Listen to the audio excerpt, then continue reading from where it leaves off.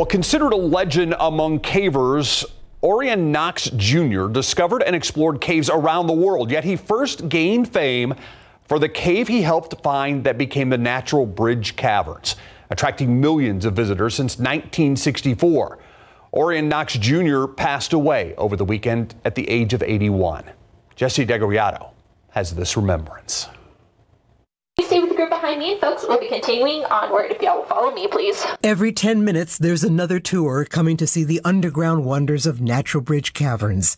They were undiscovered for millions of years until Orion Knox Jr. was the first of four St. Mary students in 1960 to squeeze through a narrow opening to enter the cave. It has to be scary when you're going in a place you don't know what's going to happen. But that's exactly why it said he did it. He just had that passion for exploration and discovery. Brad Wuest' family owned the ranch where Knox helped them develop Natural Bridge Caverns, now the largest show cave in Texas. Installing the pathways and handrails and lighting. While also continuing to explore and map a cave so large, where it ends, they say, is still unknown, having learned of his his passing, a visitor from Nepal paid tribute to Knox. I feel like his existence itself was like a miracle because, like, you know, he discovered this. He was a, a truly a uh, remarkable man. Knox's legacy, says Wuest. Never stop exploring in life, never stop making new discoveries. They say it's only fitting that Orion Knox Jr. chose Natural Bridge Caverns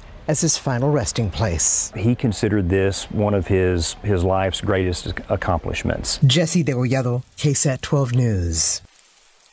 Keep up to date with all of San Antonio's top news, weather, and so much more by clicking the like and subscribe buttons below. And once again, thanks for watching KSAT.